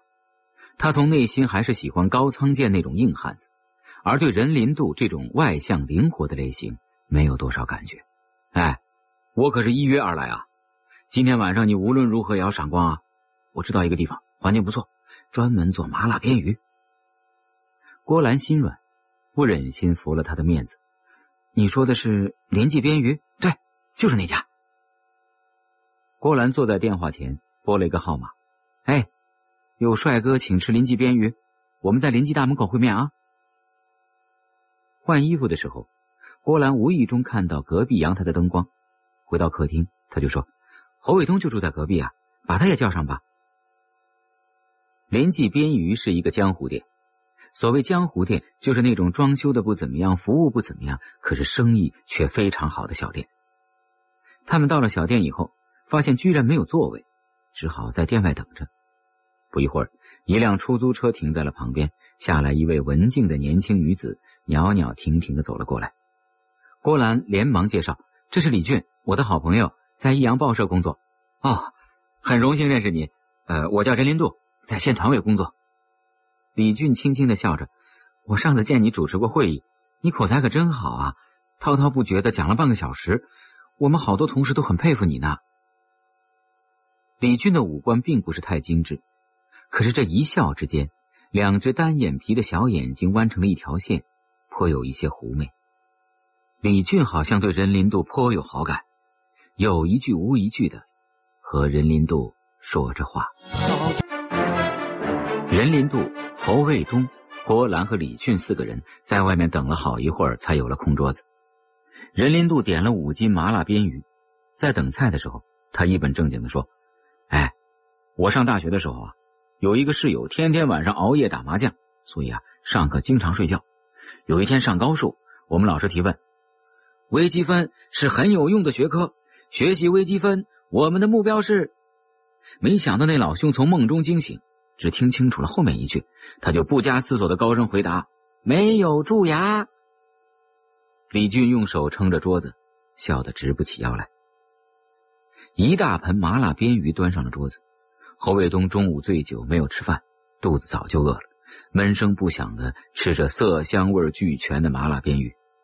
等到任林度又说一个笑话的时候。三条边鱼已经进到了他的口中。吃完饭，任林度又请大家唱歌。郭兰不喜欢晚上在外面游荡，就说：“哎呀，我还要回家看稿子呢，明天肖部长要用啊。”任林度，你负责把李军送回去，侯卫东，你负责送我。下次我请大家唱歌吧。任林度连忙说：“哎，郭兰，下个星期三我们一起唱歌，怎么样？”郭兰这次没有承诺时间，哎呀，现在还定不下来。如果有时间。我来约大家。侯卫东和郭兰打车回到沙洲学院，在学院门口下了车，两个人步行走回学院。学院的绿化极好，路灯全部被绿树遮掩，光线从树叶的间隙穿来，在地上形成一些白点这些白点随风而动，就像隐藏在黑暗中的豹子。郭兰知道青林镇选举的事情，组织上内定的人被选掉。这应该算得上是一件严重的事情了。侯卫东的命运还真是很难说呀。想到这儿，他不禁有些怜惜侯卫东。侯卫东啊，这次选举对你以后会有影响的，你要多注意啊。唉，事情发生都发生了，现在担心也没用，唯一的出路就是做好当前的工作了。那，你的工作还顺利吗？还行吧。近期的主要任务是殡葬改革，这个困难很大。你要注意工作方法啊，千万别出事儿。其实郭兰还有一句话没有说出口，那就是如果出事儿，那就是县委让你下课的最好的机会。走到西区的教授楼，从音乐系那边传来一阵钢琴声。郭兰侧着耳朵听了一会儿，啊，是尹老师的曲子，真美啊。说这个话的时候，郭兰的表情柔和而恬静，这让满身酒气的侯卫东感觉自己很粗俗。第二天，侯卫东换了一件干净的夹克衫，去拜访了民政局分管副局长许斌。将青林镇殡葬改革工作做了汇报。中午，恰巧李山镇分管副镇长也来了，许斌副局长做东，请两个镇的分管领导吃了一顿午饭。下午三点，侯伟东直奔县政府，直接找到了副县长曾兆强。他当上副镇长以后，还没有与曾兆强见过面，今天特意去汇报情况。县政府的办公楼是一栋老楼。已经列入了县政府的一九九六年改造计划，现在还没有动工。副县长办公室还不如交通局局长的办公室宽敞呢。曾兆强在公共场合总是高大威严的形象，单独面对侯卫东的时候，他表现的很是洒脱和随和。哎，你就别汇报工作了，朱兵任职的文件已经出来了，今天啊，我们去好好的砍他一刀，让他出出血。侯卫东跟着曾兆强下了楼，坐上了他的小车。不到一个小时，小车驶入了沙洲境内。在沙洲城郊，小车拐上了一条稍窄的水泥路，开了十来分钟，进入了汉湖度假区。汉湖的老总李金在停车场等候着。暖洋洋的太阳照在他的脸上，使他的皮肤如象牙一般的温润。他与曾兆强握了握手：“朱局已经到了。”在六号楼等您呢。曾兆强和李晶有说有笑的进了六号楼。曾兆强身高体壮，像一头熊，而李晶呢，大约有一米六五，身材婀娜，特别是腰身很细，两个人形成了鲜明的对比。曾兆强进了屋，马上就说：“大家先泡澡吧。”侯卫东被带进了澡堂子，进门就见到了上次的那位长腿的妹妹。那长腿妹妹脸微微红着，是你啊？看着长腿妹妹玲珑有致的身材，侯卫东说：“还是老规矩啊，我泡澡，你看电视。”长腿妹妹麻利的放水，你还真是个怪人，莫非我很丑吗？哎，我不是怪人啊，是正常人。你身材这么好，要真是下了水，我可忍不住。你去找一个唱歌的频道。我一边泡澡一边听音乐。长腿妹妹彻底的轻松下来，他调皮的吐了吐舌头。我给你准备饮料，你要葡萄酒还是茶呢？呃，葡萄酒吧。泡在热水中，喝着红酒，听着音乐，这让侯卫东感到如帝王般的享受。长腿妹妹看了一会儿电视，主动过来帮着侯卫东做起了头部的按摩。侯卫东毕竟年轻气盛啊，感受着女子柔软的胸膛，悄悄的咽了一下口水。长腿妹妹注意到他喉结的滑动，就说道：“你别忍着呀，我还是下来吧。”哎，算了算了算了，我有女朋友啊。听到侯卫东这么说，长腿妹妹的表情忽然温柔起来，她很是卖力的为侯卫东做起了按摩。六号楼的楼顶有一个宽大的平台，上面栽着不少名贵的花草。站在平台上，可以看见秀美的湖面。春风吹过，湖边一片翠绿，煞是喜人。朱冰喜得红光满面，坐在楼顶晒太阳。见侯卫东出来，拍了拍身边的椅子：“哎，过来，过来，过来坐，晒晒太阳。”等到侯卫东坐下，他说：“交通局最近要买一批皮卡车。”性能很好啊，你也买一台嘛啊！有车以后啊，行动就很方便了。侯卫东的心中一动，皮卡，多少钱一台啊？只有十来万。我让驾校安排一个老师傅专门来教你，一个星期就可以拿照上路了。再说了，高速路马上就要动工了，碎石用量肯定很大。大湾石场的生产最近不太正常，你是市场专家，要帮着查找问题啊。大湾石场的现场是朱兵的父亲朱富贵在管理。这段时间他经常不在市场，生产有些混乱。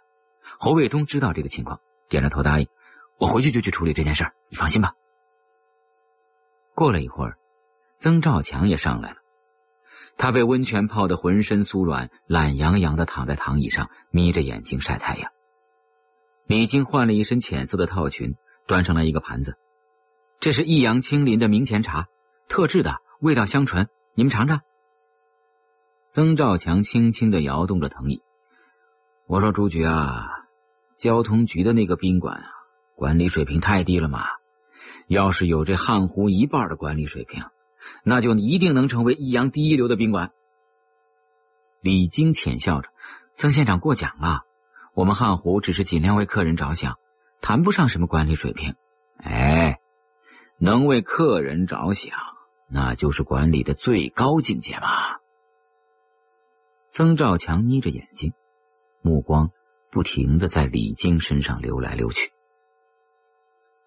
汉湖的服务质量确实一流，菜不多，却道道精彩；酒只有一瓶，是茅台。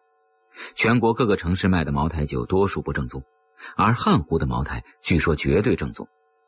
服务员用白瓷杯倒了一大杯茅台酒。估计有三两多，酒粘在杯子上，有一股特别的香味。三个人喝着茅台，品尝着大河野生鱼。喝了酒，曾兆强打开了话匣子：“我是个农村孩子，至今忘不了当年饿肚子的情景啊！哎，我在读交通中专的时候，最喜欢的就是逛菜市场，喜欢看人家砍猪肉啊，听到刀砍在案板上的声音。”我就会觉得特别满足。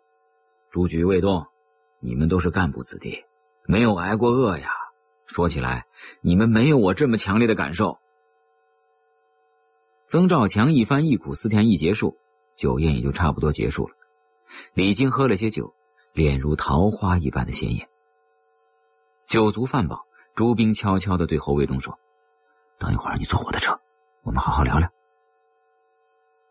来汉湖的时候。侯卫东和曾兆强同坐一车，这没有问题。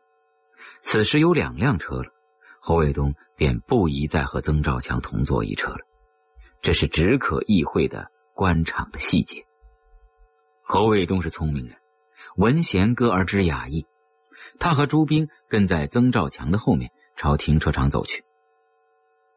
汉湖小区设计的极有特色，进了大门以后有一个大坝子，普通客人将车停在坝子里。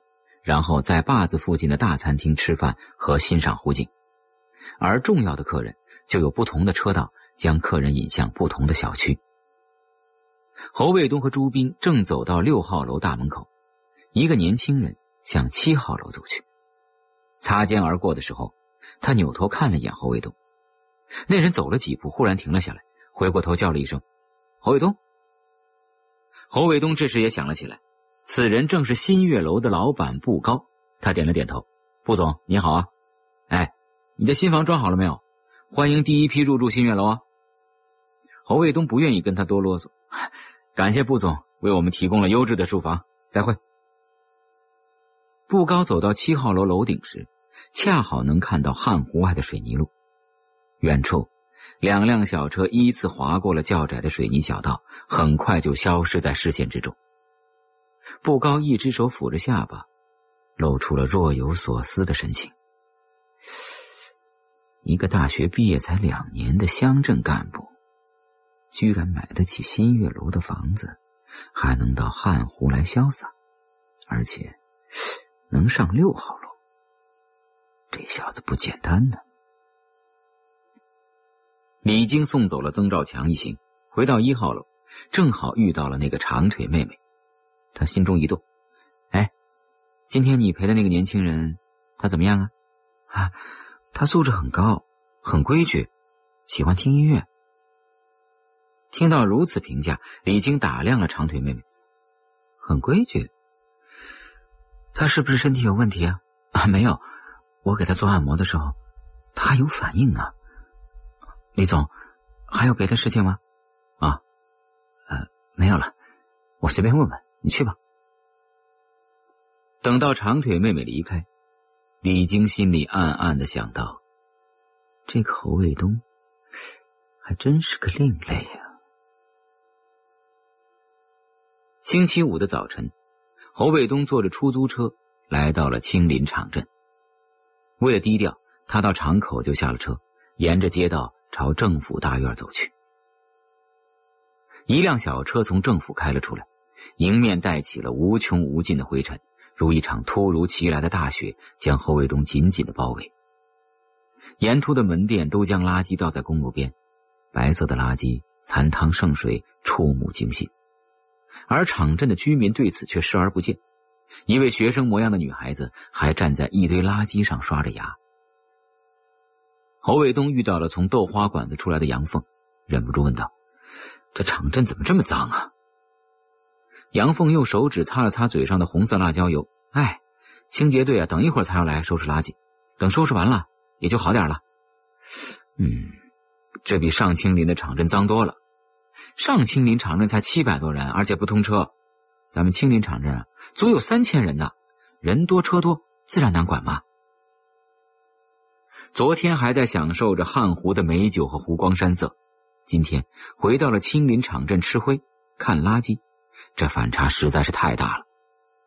侯卫东拍了拍裤腿上的灰尘，哎呀，场镇环境啊，应该治理了。侯卫东来到了苏明的办公室，苏镇长，这几天啊，我一直在想着你交给我的任务，我有些想法了。哦，苏明放下了笔，那你说说看。咱们乡镇面临的任务都是一样的，新一届政府要抓住特色呀，谈何容易？不过我发现青林场镇存在两个问题：一是场镇建设杂乱无章，房子就像被公鸡爪子扒拉过，站在山下望下来啊，那种感觉特别的明显；二是场镇的环境卫生太差了，从镇头走到镇尾，头发鼻孔里面全是灰。等侯卫东说完了，苏明问道：“你的中心意思是什么？”“嗯，我觉得吧，我们这一届政府如果能够改变青林场镇的面貌。”把青山绿水和场镇结合起来，打造一个漂亮宜居的小场镇，就如同欧洲的小场镇那样。如果真的能把这件事做好，那肯定会在益阳，甚至是沙洲市引起轰动的。嗯，卫东啊，你的想法很好啊，只是要建这样的小场镇，必然涉及大量的拆迁呢，三年之内肯定完不了。三年之后。你和我在不在青林镇，谁也说不清楚啊。苏镇长，我以前每次从上青林下山，总会在半山坡的那块石头上站一会儿，正好可以看到青林场镇的全景。在场镇后面翻过那道缓坡，就有一大片平地，我们可以不搞拆迁，在缓坡后面建一个新镇。就算暂时不能建新镇的话，我们还可以狠抓场镇卫生啊，这是实实在在的事情，难度也不会太大。另外。我从上青林小学得到启发，上青林小学啊，里面的建筑很陈旧，不过种了很多的桂花树，这学校的档次一下子就提高了不少。青林山上的野生桂树不少，我们可以选个几百株，将青林镇变成桂花镇，这就是很大的特色了吗？嗯，素明认真的听着，但并没有马上表态。你讲的有道理啊，让我再想一想。侯卫东离开以后，素明把青林镇的地图拿出来，用尺子在地图上不停的比划。好的想法就像一张纸，捅开来，人们才恍然大悟，原来事情是可以这样办的。认真研究了地图，素明对重建一个新青林的想法产生了浓厚的兴趣。赵永胜推门而进的时候，见素明在聚精会神的看地图，就问道：“怎么？”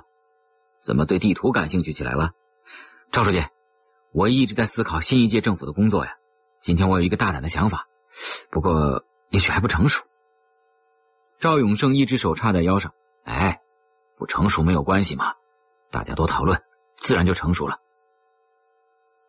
当他听了宿明的想法，眉头皱在了一起。嗯，这是事关全局的大事啊，工程量太大，凭青林镇的财力，恐怕十年也完不成啊。而且那一块地足有上百亩，全是良田熟土，占用了实在可惜。况且手续也很复杂，想起来容易，办起来很难呐。可是素明此时的眼中仿佛已经有了一座新城。赵书记，我们可以先总体设计嘛，然后分步实施。赵永胜压根就不同意另外建一个青林镇，他岔开了话题。明天是殡葬改革的宣传动员大会。我有些不放心啊，殡葬改革的难度绝不会小于计划生育的，特别是前期打架的事情少不了。侯卫东没有经过二级班子的磨练，经验不足，他如果搞砸了锅，将来还得我们来收场啊。素明与侯卫东接触较多，侯卫东这个人吧，做事情既稳重又大胆，他办事我还是放心的。但愿他能把这件事做好啊。赵永胜虽然这么说，可心里却琢磨着：只要侯卫东把这件事情办砸了，那就是把他拿下的最好的理由了。素明对新方案很感兴趣，很快又把话题绕了回去：“赵书记，我觉得建新镇的方案可以考虑，干脆啊，我们在党政联席会上提一提，看看大家的意见如何。如果大家都觉得可以，就可以找建委的同志。”来看一看嘛。赵永胜见素明抓着新镇话题不放，心里隐隐不快。这是关系全镇的大事，今年人代会上没有提出来，就不要再提了。如果确实有必要，那先上报县政府嘛，等县政府同意以后，我们再具体实施。见赵永胜如此态度，素明也冷静了下来。他将铅笔放在了图纸上，很勉强的说。哎，好吧，那建新镇的事情，那就暂时放一放。赵永胜的脸上露出了笑容。前天我到县委组织部去了一趟，组织部要求各镇呐都要报一个后进的村支部，作为今年的整改对象。你看，我们报哪个村呢？苏明将各村都放在脑子里过了一遍。要说特别差的。一下子还真说不上来。要是以提留统筹还有农业税等硬指标来算，恐怕就要数夏青林河对岸的那几个村了。赵永胜手捧着将军肚，嗯，苏镇长这个建议很好啊，那就按这个思路，下周开党政联席会，我让刘坤将这件事情提出来。殡葬改革专题会的前一天，侯卫东正坐在办公室修改自己的讲话材料。赵永胜打来电话：“侯卫东啊，明天的会议准备的如何呀？”“啊，赵书记，两份重要文件已经出来了，一份是关于在青林镇进行殡葬改革的通知，主要内容就是县里的文件，增加了青林镇的内容；第二份就是殡葬改革领导小组的文件，也打印出来了。那会议准备怎么开啊？先由我来宣读两份文件吧，然后请肃镇讲具体的问题，最后赵书记您做重要的讲话。”赵永胜对于议程没有异议，他特意交代：土地占用费的事情很敏感，一定不能在会上讲，绝对不能形成白纸黑字的材料，只能散会以后啊，你与每个村的干部啊单独商量。与侯卫东通话以后，赵永胜又将刘坤叫到了办公室。殡葬改革是难事，舆论造势很重要，之所以让你来主管宣传，那也是人尽其才嘛。充分发挥你的能力。明天开殡葬改革工作会，宣传工作进展如何呀？您放心吧，赵书记，我已经做了安排了。其实刘坤并没有做什么安排。从赵永胜的办公室出来以后，他就将周京找来交代了任务，然后坐车回到了益阳县城。星期六，全镇都没有放假。上午九点。十二个村的村支部书记和村委会主任陆续来到了会议室。侯卫东准备的非常充分，每一位村干部一进会议室，社事办的工作人员程义林就给到会者发一个大信封，信封里面是县里文件的复印件，还有镇里的相关文件。大信封装文件是这几年才流行的做法，绝大多数村干部将信封放在了一边，少数村干部打开信封，抽出文件看了起来。九点整，赵永胜、素明和刘坤陆续来到了会议室。九点十分，会议正式开始。会议由素明主持，第一个议程是由侯卫东宣读县镇两级的文件。第二个议程由刘坤来布置殡葬改革的宣传工作，第三个议程由素明讲具体的工作，第四个议程由赵永胜做重要的讲话。在侯卫东最初制定的会议议程中，原本没有刘坤讲话这一项。早晨开会之前，赵永胜临时决定加上了这么一项议程，并给刘坤打了一个电话，让他在会上讲一讲殡葬改革的宣传工作。刘坤昨天晚上。参加了组织部柳明阳部长的生日晚宴，柳部长只请了三桌客人。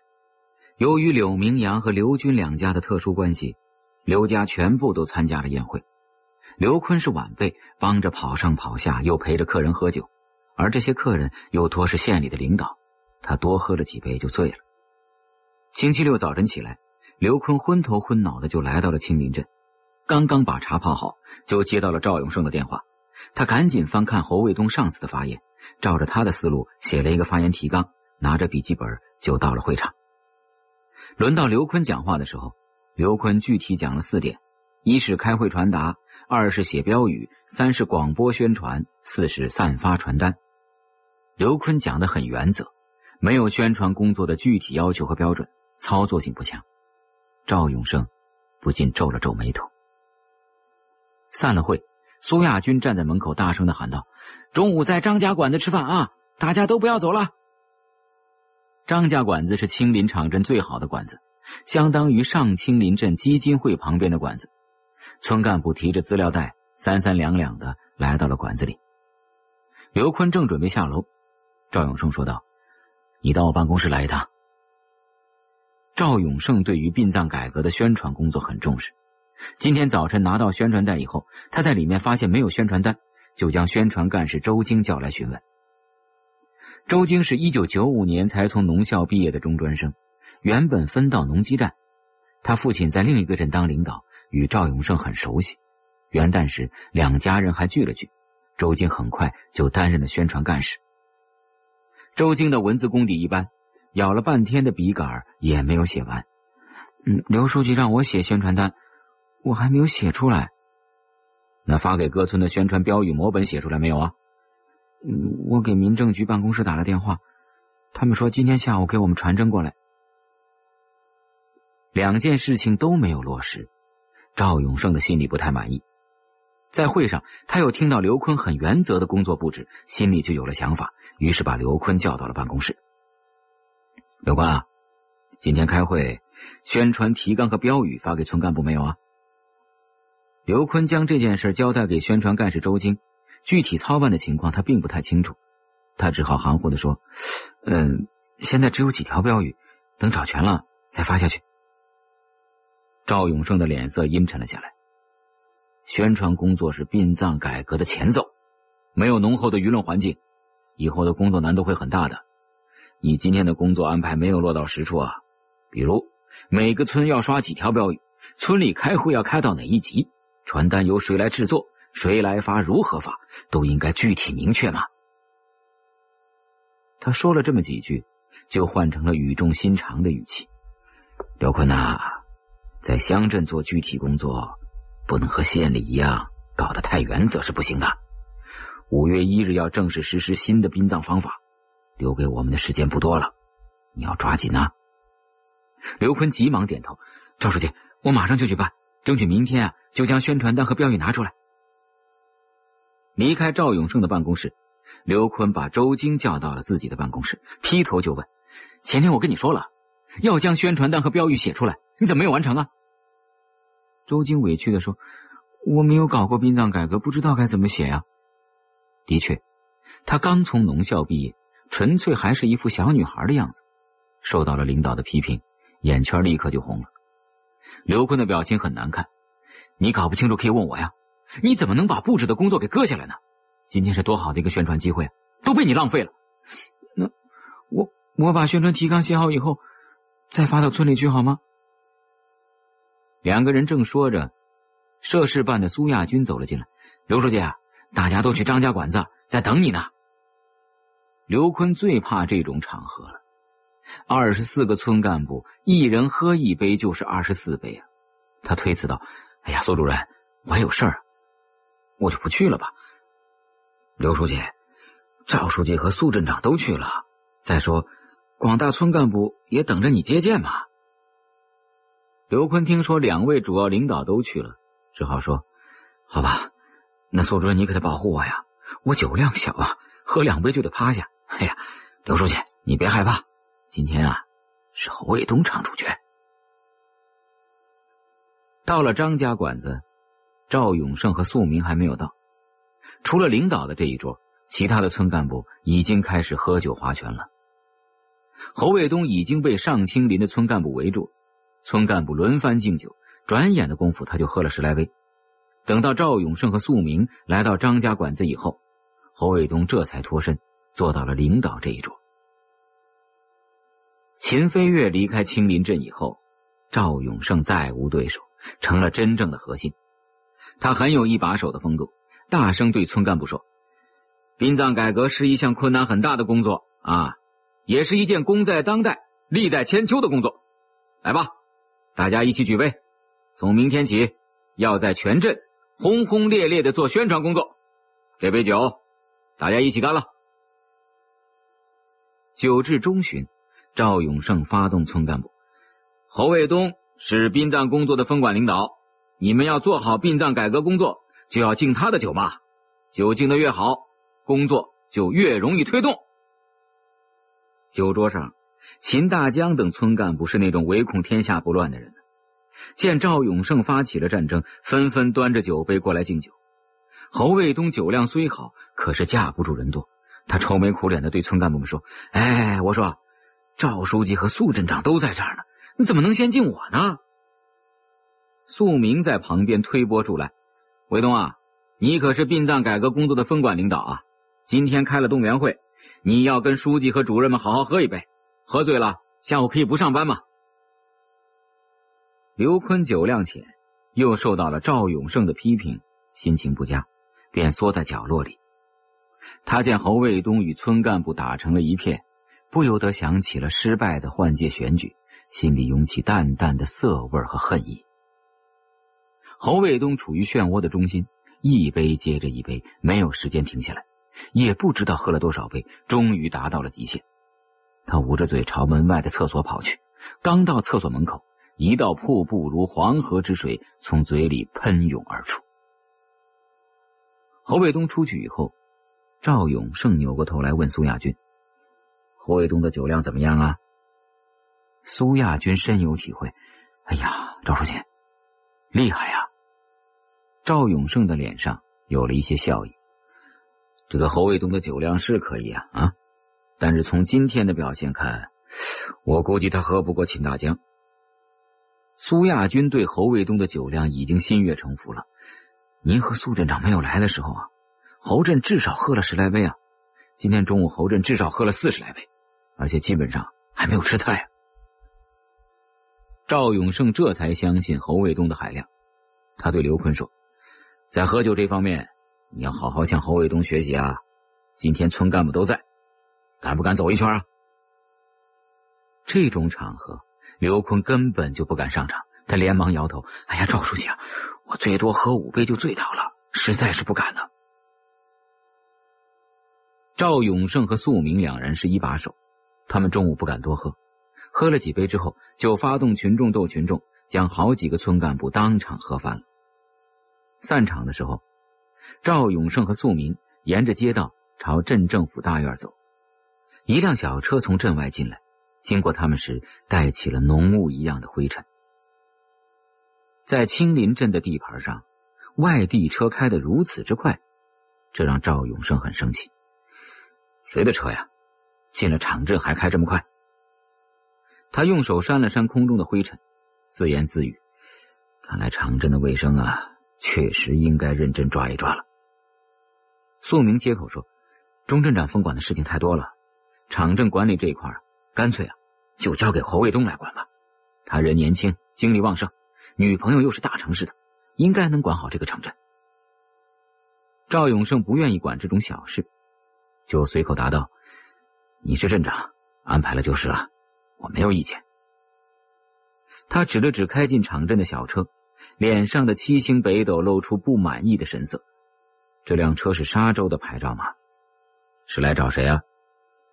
李京的小车扬起了一道灰尘，如飞龙一般盘旋在青林镇的上空。李京常年来往于政府机关，很熟悉各级政府的机构。下了车，直接找到了前一次见过面的党政办的杨凤。一般的情况之下。杨凤对于美女是有着天然的敌视的，而这一次却罕见的对这位漂亮的女士表现出好感，带着李静来到了侯卫东的办公室。推开侯卫东办公室的大门，屋子里酒气熏天。侯卫东仰面朝天躺在沙发上，正在呼呼大睡。李静捂着鼻子对身后的杨凤笑道：“哎呀，你瞧，你们的侯镇长烂醉如泥了。哎呀，我们今天啊开村干部大会。”侯卫东喝酒太耿直了，也不知道耍赖，喝了六十多杯嘞。杨凤将侯卫东喝酒的杯数略作夸大。已经算了算酒量，不停的摇头啊。年轻的时候喝这么多呀，身体迟早要垮的。这样是要生病的。他家在哪里呀？最好找人把他扶回去。我们侯镇在青林镇没有住房，他平时啊都住在上青林乡政府。什么？镇里没有单身宿舍吗？李晶主管着沙洲最好的度假区汉湖，他根本就不能想象没有宿舍的生活。杨凤虽然胖一点却不笨，嘴巴还异常的利索。他讲了镇里的情况，包括赵永胜对侯卫东的看法。由于侯卫东在汉湖一直表现良好，李晶对他心存好感。此时见到了他的真实生活，心里不由得产生了丝丝的怜悯。哎呀，看他这个样子呀，恐怕他晚上都醒不过来。我车上有毯子。杨凤跟着李晶下了车，拿了薄毯子到办公室给侯卫东盖上。当小车离开大院的时候，李晶对司机说：“到青林山。”青林山呢？怎么走啊？我没去过呀。山上就只有一条路吗？边走边找。李晶一改平日的温和，不耐烦了起来。小车很快就上了山。上青林公路虽然是泥结石路面，但是路型很好，上山的坡度和弯度都很标准。路面虽然被重车压出了水荡，但是公路的总体状况还是不错的。李晶首先到了分钢石场，他站在石场外面观察了一会儿。独石村的杨炳刚。是分钢石场的安全员，他看到一辆小车停在路边，上前问道：“你找谁啊？需要碎石吗？”李晶问道：“你是老板吗？我要看看石场。”杨炳刚是生于上青林、长于上青林的土鳖，他从来没有与李晶这种既漂亮又性感的女人面对面的谈过话，几句话之后脑袋就已经晕了，说话有些结巴。呃呃，侯疯子在镇里开会呢。你你你要多少碎石？我尽量给你装嘛。离开分钢石场的时候，李晶已将石场的基本情况摸得清清楚楚了。他随后到了秦大江的石场，与管理人员交谈了几句，又前往狗背湾石场。来到狗背湾石场的时候，林中川正在指挥放炮，李晶站在远处看了很久，随后又前往曾县钢石场。和田大刀的市场，短短两个小时，李晶基本掌握了上青林石场的情况。侯卫东比李晶预计的时间醒得更早。他醒来以后，提着毯子下了楼，揉了太阳穴，对杨凤说：“哎呀，以后再也不能这么喝了，最惨了。谢谢你的毯子啊，哪里啊？这是李晶给你的毯子。”晶，哪个李晶啊？侯卫东深醉之后，脑子还有一些迷糊。还有哪个李晶啊？沙道寺的美女老总。这让侯卫东愣了好久。他琢磨着李晶到镇里做什么呢？汽车时代，人的活动半径增大了，人与人、地与地的距离也就缩小了。李晶下了山，再次来到镇政府的时候，侯卫东还坐在办公室里揉着额头。李晶提着一个纸袋子进了办公室，里面装着红菊，还有一盒牛奶。哎，我听杨凤说你喝了七十杯酒啊，怎么这么傻呀？用得着喝这么多酒吗？他说这话，又将酒的数量往上加了一点看着红菊，听着李晶责备的话，侯卫东的心里有了一些暖意，但是他心里同时也很警惕。嗯，李总不远千里来到小镇，有什么事啊？尽管吩咐吧。哦，没有事情就不能来啊？我是专门来看望侯镇长的。谁知看到的是一个醉猫。哎呀，中午喝的太多了，现在呀，感觉头都要裂开一样。侯卫东揉着额头，工作是国家的，身体才是自己的。为了工作，实在用不着这么喝酒嘛。你现在还年轻，身体还扛得住，到老了，你就晓得厉害了。谈了几句话，李晶切入了正题。哎。趁你睡觉的时候，我到上清林的几个石场去看了。高速公路马上就要开工了，到时候啊，碎石的用量极大。我担心上清林的石场碎石够不够啊？侯卫东对上清林的石场很有信心。哎呀，这点啊，你放心吧。我们上清林有五家大石场，家族马力开工绝对没有问题。我们供应过沙一路和义乌路的建设，有足够的经验和实力。岭西公路是跨省高速，路段长，碎石用量极大。沙洲道路工程公司中标段有九十五公里呢，其中有四十公里不在沙洲市境内。也就是说，茂银地区的火凤山也是重要的碎石供应地。火凤山和青林山的石质上是一个山系，石质差不多，都是公路所需要的优质石材啊。李晶的这番话，明显是话中有话。侯卫东的警惕性更高。李总，有话就直说嘛，我脑子笨啊，听不太明白。改天啊，我要和你细谈这个事情。今天我约了朱局长一起吃顿晚饭。哎呀，我今天晚上不能再喝酒了。现在啊，一提酒我就要反胃。放心吧，我不会灌你的酒的。交通局局长朱兵，那可是石场的衣食父母。而朱兵又经常去汉湖，与李晶的关系也不错。侯卫东因此只好跟着李晶前往了益阳县城。小车速度极快，很快就到了益阳城。在车上颠簸了一个多小时，侯卫东酒劲上涌，脸色极为苍白。下车时用手撑着小车，还差点摔倒。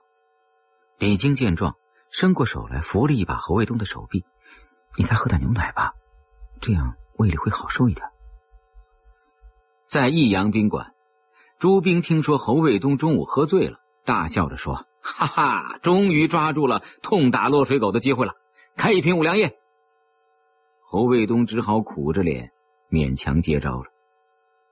说来奇怪，喝酒之前他还头痛欲裂，喝着喝着头不疼了，胃也不疼了，又开始生龙活虎起来。喝到一半，周兵举起了白旗：“哎呀，我服了你了！”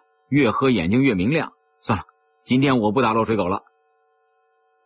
这个时候，在另外一个包间的梁必发过来敬酒，在朱兵的鼓动之下，拿起啤酒杯倒满了一杯高度酒，然后一分为二。侯卫东这半杯喝下去，又开始翻江倒海了。梁必发出去走了一趟，又带着秦小红走了进来。秦小红依葫芦画瓢，又和侯卫东碰了一个大杯。李晶在下午见过侯卫东的醉态，此时见他喝得如此之生猛，不仅大为叹服。吃完饭，李晶提议：“我们汉湖打出了一口温泉，有数百个喷气孔形成了水坑，废水啊就从坑底冲出来，好像一串串晶莹剔透的珍珠吐露。我们就把这口温泉啊称为珍珠泉。今天我请朱局和侯镇赏光，试试珍珠泉怎么样？”朱兵说。沙洲地区啊，温泉资源丰富，没有想到是你们汉湖最先利用起来了。好，我们一起去泡温泉。来到了汉湖，侯卫东被热水一泡，酒劲儿又上来了。他迷迷糊糊的靠着温泉壁睡着了。一觉醒来，窗外已是晴空万里。侯卫东一时没有想起这是在哪里。坐了一会儿，他才渐渐的想起昨天喝了酒，这是在汉湖。想到这儿，侯卫东不禁低头一看，心里暗吃了一惊。